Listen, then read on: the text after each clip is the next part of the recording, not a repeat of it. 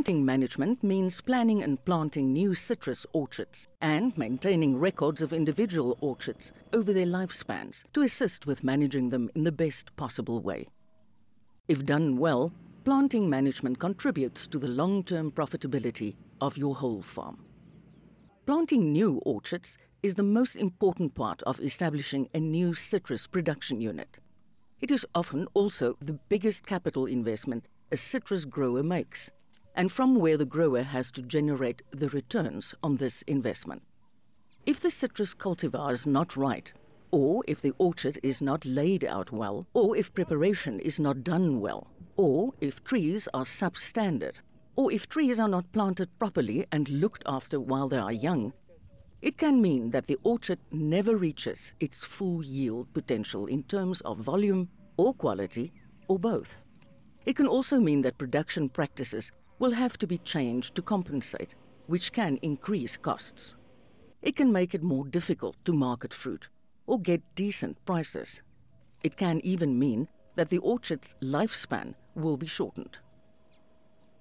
To sum up, planting management involves selecting the optimal citrus type and cultivar, planning and laying out the new planting, preparing for establishing the trees, planting them and taking care of them while they are still young, and keeping record of everything to do with the orchard for as long as it is in production. Citrus cultivars and rootstocks. Today's citrus grower has an almost staggering choice of citrus cultivars and rootstocks to choose from. There are a myriad of factors that play a role in this choice, and it is important to understand them and their significance. Once the choice has been made, trees are ordered from a citrus nursery as long as two years before the orchard is eventually planted.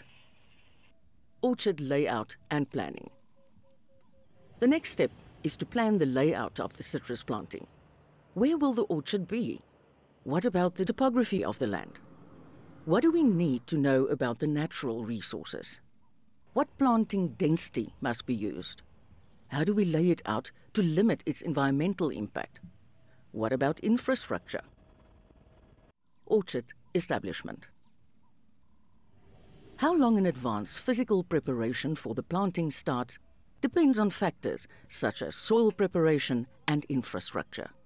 At last, the time will come for the trees to be planted, after which they must be cared for to make sure that they grow fast and well and come into production in the shortest possible time. Orchard record keeping.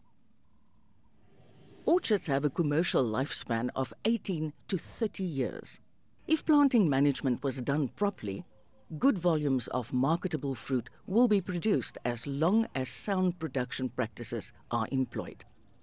But can we simply assume that there will always be the same number of trees as the day it was planted? And how is the performance of the orchard monitored?